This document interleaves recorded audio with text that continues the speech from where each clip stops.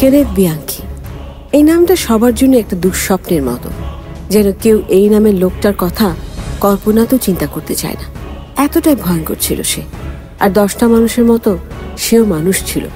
সবার মতো চলাফেরা ছিল তার। কিন্তু তবু তার আলাদা একটা পরিচয় ছিল, যে পরিচয় কারোর জন্যই সুখকর না। কেউ কখনো এমনটা প্রত্যাশাও করেনি। উনিশশো সাতাত্তর সালের অক্টোবর থেকে উনিশশো আটাত্তর সালের ফেব্রুয়ারি মাস। লস অ্যাঞ্জেলেসের সবচেয়ে ভয়ঙ্কর আর বাজে একটা অধ্যায় ছিল এটা।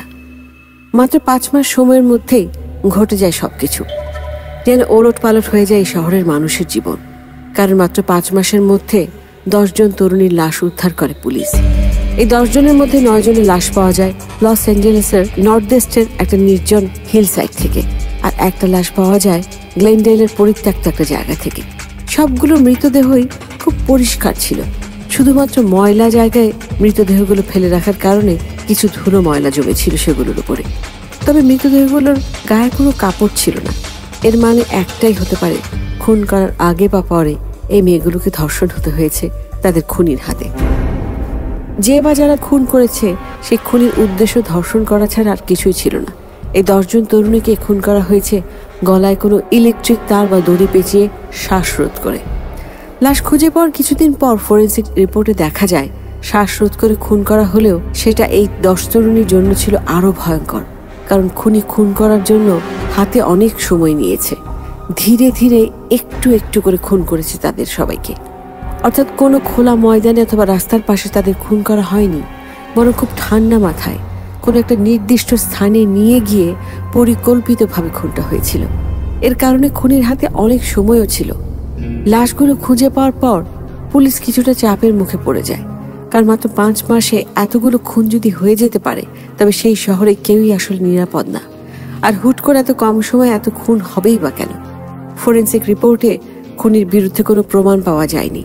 তাই লাশগুলো আর পরীক্ষা নিরীক্ষা করে দেখার জন্য ফরেন্সিক ডিপার্টমেন্ট আরও কিছু সময় যায় দুইবার পরীক্ষা করার পর খুব অদ্ভুত একটা বিষয় ধরা পড়ে। সেটা হচ্ছে দশ তরুণীর খুনের পেছনে একাধিক খুনি নয়।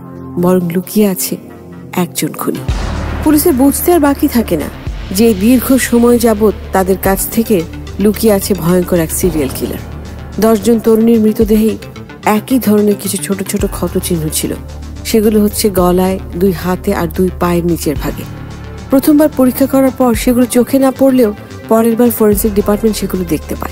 এই ক্ষত চিহ্নগুলো দেখে মনে হতে পারে যে খুনি এই দশজন তরুণীকেই হয়তো ইঞ্জেকশনের মাধ্যমে কোনো ড্রাগ দিয়েছিল। কিন্তু ফরেন্সিক পরীক্ষায় মৃতদেহে এমন কিছুই পাওয়া যায়নি। এই দশজন তরুণীর লাশ পুলিশ একসাথে খুঁজে পায়নি।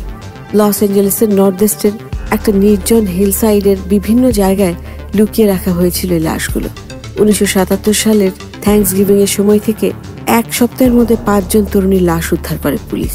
এই পাঁচজনের মধ্যে দুইজনের বয়স ছিল সবচেয়ে কম।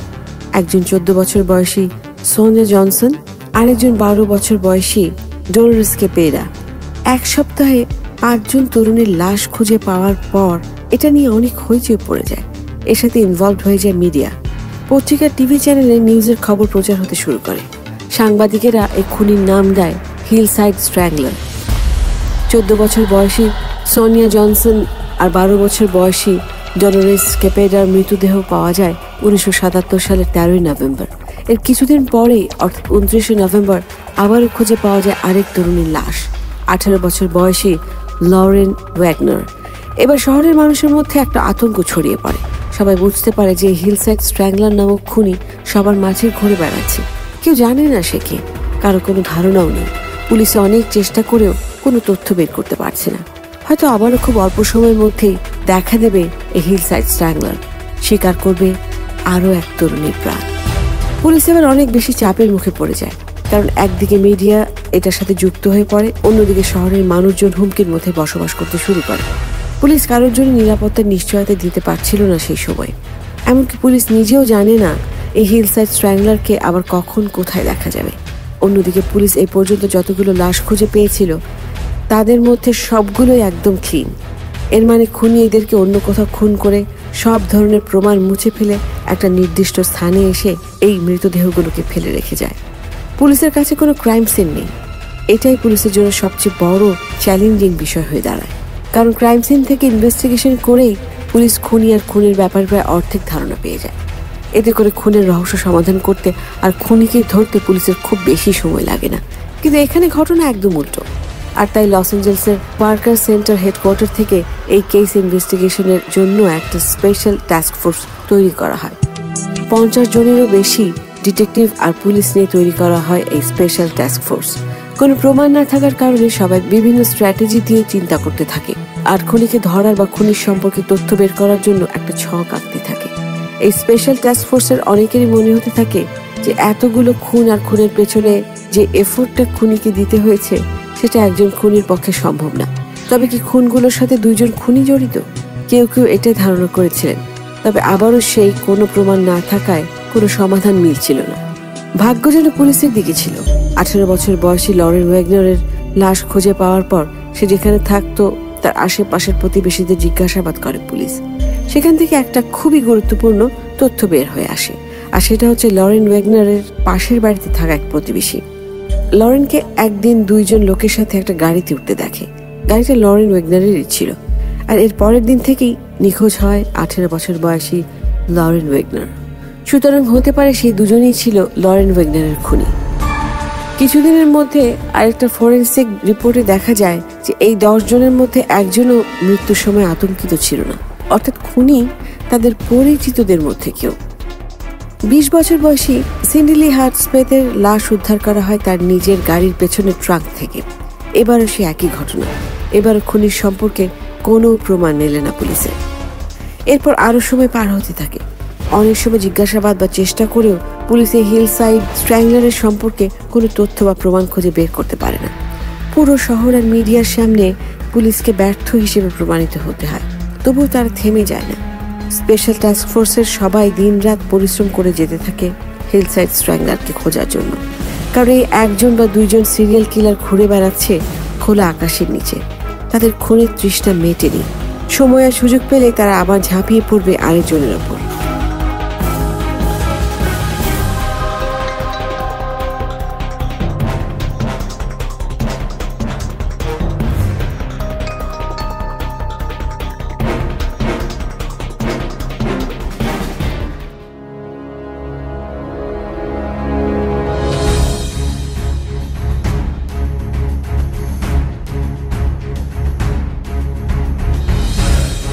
দীর্ঘ এগারো মাস পর বেলিংহ্যাম ওয়াশিংটনের একটা ছোট্ট সিপোর্ট টাউনে অবশেষে হিলসাইড স্ট্র্যাংলারের ধাঁধার অবসান ঘটে। ওয়াশিংটন ইউনিভার্সিটির দুজন শিক্ষার্থী, সাতাশ বছর বয়সী ডিয়ানে ওয়াইল্ডার আর বাইশ বছর বয়সী ক্যারেন মেন্ডিকের খুন হয়। পুলিশ এই দুইজনের লাশ খুঁজে পায় ক্যারেন মেন্ডিকের গাড়িতে। এই দুইজনকেও সে একইভাবে খুন করা হয়েছে, যেভাবে খুন করা হয়েছিল বাকি দশজনকে। খুনের সন্দেহে বেলিংহ্যাম পুলিশ ছাব্বিশ বছর বয়সী সেই ইউনিভার্সিটির সিকিউরিটি গার্ড কেনেথ বিয়াঙ্কিকে গ্রেফতার করে। লাশ উদ্ধার করার পর পুলিশ সেখান থেকে কিছু ক্লু পেয়েছিল, যার কারণে তাদের মনে হয়েছে এই খুন কেনেথ বিয়াঙ্কে ছাড়া আর কেউ করতে পারে না। কেনেথ বিয়াঙ্কি ওয়াশিংটন ইউনিভার্সিটির সিকিউরিটি গার্ড হলেও তার কাছে লস অ্যাঞ্জেলেসের ড্রাইভিং লাইসেন্স ছিল। এটা জানার পর বেলিংহাম পুলিশ লস অ্যাঞ্জেলেসের পুলিশ ডিপার্টমেন্টে ফোন দিয়ে এই কেনেথ বিয়াঙ্কির ব্যাপারে তথ্য দিতে বলে। লস অ্যাঞ্জেলেসের পুলিশ ডিপার্টমেন্টের সার্জেন্ট ফ্র্যাঙ্ক স্যালের্নো ফোন পাওয়ার সাথে সাথে কাজে নেমে পড়ে। কেনেথ বিয়াঙ্কের ব্যাকগ্রাউন্ড চেক করার পর পুলিশ যে খুঁজে পেল সেটা ছিল অবাক করে দেওয়ার মতো। লস অ্যাঞ্জেলেসের হিলসাইড স্ট্র্যাংলারের কয়েকজন ভিকটিমদের বাড়ির পাশেই তার বাড়ি ছিল। এই প্রথম লস অ্যাঞ্জেলেসের পার্কার সেন্টার হেডকোয়ার্টারের জন্য সেই স্পেশাল টাস্ক ফোর্স হিলসাইড স্ট্র্যাংলারের সাথে কন্ট্যাক্ট করা যায় এমন একজনকে খুঁজে পেল। এই তথ্য পাওয়ার পরের দিনই স্পেশাল টাস্ক ফোর্সের বেশ কয়েকজন চলে যায় বেলিংটন পুলিশ ডিপার্টমেন্টে সেখানে গিয়ে ওয়াশিংটন ইউনিভার্সিটির যেই দুইজন শিক্ষার্থী সাতাশ বছর বয়সী ডিয়ানে ওয়াইল্ডার আর বাইশ বছর বয়সী ক্যারেন ম্যান্ডিকের মৃতদেহ খুঁজে পাওয়া গিয়েছিল, তাদের ফরেন্সিক রিপোর্ট দেখে। এই ফরেন্সিক রিপোর্টই প্রমাণ করে দেয় যে এটাই তাদের কাঙ্ক্ষিত হিলসাইড স্ট্র্যাংলার যাকে খুঁজে বের করার জন্য মাসের পর মাস মাথার খাম্বায় ফেলেছিল এই স্পেশাল টাস্ক ফোর্স কেনেথ বিয়াংকেই আসল হিলসাইড স্ট্র্যাংলার উনিশশো একান্ন সালের বাইশে মেতে নিউ ইয়র্কের রচেস্টারে জন্ম নেয় কেনেথ বিয়াঙ্কি। তার মা ছিল একজন নেশাগ্রস্ত পতিতা। জন্মের দুই সপ্তাহ পর, অর্থাৎ উনিশশো একান্ন সালের অগস্টে নিকোলাস বিয়াঙ্কি আর তার স্ত্রী ফ্রান্সিস কিওলিয়নো নিঃসন্তানী দম্পতি কেনেথ বিয়াঙ্কিকে দত্তক নেয়। ছোটবেলা থেকে কেনেথ বিয়াঙ্কি একটু অন্যরকম ছিল। তার দত্তক মা ফ্রান্সিস জানায় যে সে সবসময় সবকিছুতেই মিথ্যা কথা বলতো। শারীরিক কিছু সমস্যা ছিল কেনেথ বিয়াঙ্কির ছোটবেলা থেকেই তার ইনভলেন্টারি ইউরিনেশন রোগ ছিল। এর জন্য স্কুলে তাকে বন্ধুদের কাছে অনেক অপমানিত বা হাসির পাত্র হতে হয়েছে। এই জন্য স্কুলে তার কোনো বন্ধু ছিল না। তার সাথে কেউ কোনো কথাও বলতো না। তার এই শারীরিক সমস্যার কারণে সে যখনই কারোর সাথে কথা বলতে যেত, তখনই তার কাছ থেকে সবাই অনেক দূরে সরে যেত। এমনকি এত ছোট বয়সেও তার সাথে খেলার মতো কেউ ছিল না। সেই থেকেই তার ক্ষোভ শুরু হয়। খুব অল্পতেই রেগে যেত সে। এর জন্য দশ বছর বয়সে তার দত্তক মা তাকে অনেকবার সাইক্রেটিস্টের কাছে নিয়ে যায়। এগারো বছর বয়সে তার আইকিউ লেভেল ছিল একশো ষোলো। এত ভালো আইকিউ থাকার পরও সে তার বুদ্ধিমত্তা কাজে লাগাতে পারেনি। তাকে ছোটবেলায় দুবার স্কুল বদল করতে হয়েছে। পড়ালেখায় খারাপ রেজাল্ট করার কারণে। এর জন্য তার শিক্ষকরা তাকে লেইজি বলে আখ্যায়িত করে। উনিশশো চৌষট্টি সালে কেনেথ বিয়াঙ্কের দত্তক বাবা নিকোলাস বিয়াঙ্কি নিউমোনিয়া রোগে আক্রান্ত হয়ে মারা যায়। বাবার মৃত্যুতে কেনেথ বিয়াঙ্কি কোনো রকমের কষ্ট বা সমবেদনা দেখায়নি। হাজবেন্ড মারা যাওয়ার পর ফ্রান্সিসকে সংসারের হাল ধরতে হয়। এর জন্য কেনেথ বিয়াঙ্কি যখন হাই স্কুলে পড়ে, তখন তার দত্তক মা চাকরির কারণে বেশিরভাগ সময়ে বাড়ির বাইরে থাকত। গেইলস চিল হাই স্কুল থেকে গ্রাজুয়েশন কমপ্লিট করার পর উনিশশো সত্তর সালে কেনেথ বিয়াঙ্কি তার স্কুলের প্রেমিকাকে বিয়ে করে। কিন্তু এই বিয়ে বেশি দিন টেকেনি। তার স্ত্রী কোনো কারণ বা ব্যাখ্যা না দিয়েই তাকে ডিভোর্স দিয়ে দেয়। এরপর আর পড়াশোনা চালিয়ে যায়নি কেনেথ বিয়াঙ্কি ডিভোর্সের পর কেনেথ বিয়াঙ্কি একটা জুয়েলারি শপে সিকিউরিটি গার্ডের চাকরি করতে শুরু করে। সিকিউরিটি গার্ড হয়েও সে ওখান থেকে অনেক গহনা চুরি করে তার প্রেমিকদের উপহার দিত, তাদের বিশ্বাস অর্জন করার জন্য। মালিকের কাছে ধরা খাওয়ার পর সেখান থেকে তাকে চাকরিচ্যুত করা হয়।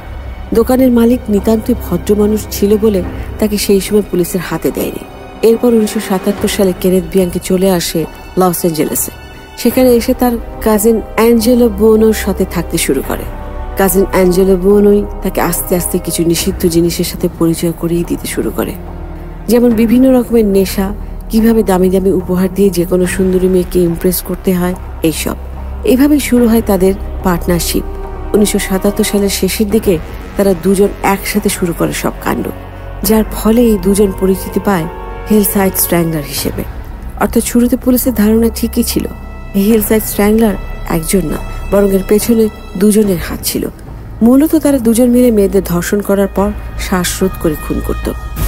ওয়াশিংটন ইউনিভার্সিটির দুজন শিক্ষার্থী সাতাশ বছর বয়সী ডিয়ানে ওয়াইল্ডার আর বাইশ বছর বয়সী ক্যারেন ম্যান্ডিকের খুন হওয়ার পর ফরেন্সিক ডিপার্টমেন্ট তাদের মৃতদেহ থেকে কেনেথ বিয়াঙ্কির ডিএনএ পায়। এতে পুলিশ নিশ্চিত হয়ে যায় যে কেনেথ বিয়াঙ্কি এই খুনের সাথে জড়িত। শক্ত প্রমাণ থাকলেও কেনেথ বিয়াঙ্কি কিছুতেই পুলিশের কাছে মুখ খুলতে চায়নি তাকে বারবার ঘণ্টার পর ঘণ্টা জিজ্ঞাসাবাদ করা হতে থাকে। তবুও সে কিছুই বলে না। দীর্ঘ দশ মাস ওয়াশিংটন কাউন্টি জেলে থাকার পর অবশেষে সে পুলিশকে তার খুনের স্বীকারোক্তি দিতে রাজি হয়। উনিশশো সালে সে পুলিশের কাছে তার মোট বারোটা খুনের কথা স্বীকার করে। এই বারো জনের সবাই কম বয়সী তরুণী। এই বারো জন হচ্ছে উনিশ বছর বয়সী ইয়োলান্ডা ওয়াশিংটন, পনেরো বছর বয়সী জুডিথ লিন মিলার, একুশ বছর বয়সী লিজা ক্যাস্টিন আঠাশ বছর বয়সী জেইন কিং, বারো বছর বয়সী ডোলোরেস কেপেডা চোদ্দ বছর বয়সী সোনিয়া জনসন, বিশ বছর বয়সী ক্রিস্টিনা ওয়েকলার আঠারো বছর বয়সী লরেন ওয়েগনার সতেরো বছর বয়সী কিউম্বার্লি মার্টিন, বিশ বছর বয়সী সিন্ডি লি হাটসপেথ, বাইশ বছর বয়সী ক্যারেন ম্যান্ডিক আর সাতাশ বছর বয়সী ডিয়ানা ওয়াইল্ডার। এই বারো জনের মধ্যে কয়েকটা খুন আর ধর্ষণে তাকে সাহায্য করে তারই কাজিন অ্যাঞ্জেলো বুয়নো অন্য সব খুনের বিবরণ না বললেও তার সর্বশেষ দুটি খুন ওয়াশিংটন ইউনিভার্সিটির দুজন শিক্ষার্থী সাতাশ বছর বয়সী ডিয়ানি ওয়াইল্ডার আর বাইশ বছর বয়সী ক্যারেন ম্যান্ডিকের খুনের বিবরণ সে পুলিশকে বলে। উনিশশো সালের সতেরোই জানুয়ারি রাতে ডিয়ানি ওয়াইল্ডার আর ক্যারেন ম্যান্ডিকের সাথে ক্যারেনের গাড়িতে করে ক্লাব থেকে বাসায় ফিরছিল। তখন তাদের রাস্তায় দেখতে পায় কেনেথ বিয়াঙ্কি তখন তাদের সাথে নানা কথা বলে তাদের ভুলিয়ে ভালিয়ে সে যেই বাড়ি সে রাতের জন্য গার্ড দিচ্ছিল সে বাড়িতে নিয়ে যায়। সেখানে নিয়ে যাওয়ার পর ড্রিঙ্কের সাথে এক নেশা জাতীয় দ্রব্য মিশিয়ে দিয়ে তাদের দুজনকে অজ্ঞান করে ফেলে। কেনেথ বিয়াঙ্কি প্রথমে জিয়ানে ওয়াইল্ডারকে ধর্ষণ করে, তারপর শ্বাসরোধ করে খুন করে। এরপর একইভাবে খুন করে ক্যারেন ম্যান্ডিককে। মূলত একটা ট্রাবলড চাইল্ডহুডের কারণে কেনেথ বিয়াঙ্কের এরকম মানসিক সমস্যা দেখা দেয়। সুপ্রিম কোর্ট এই বিষয়টা বিবেচনায় রেখে কেনেথ বিয়াঙ্কি আর তার কাজিন অ্যাঞ্জেলো বুয়োনোকে যাবজ্জীবন কারাদণ্ড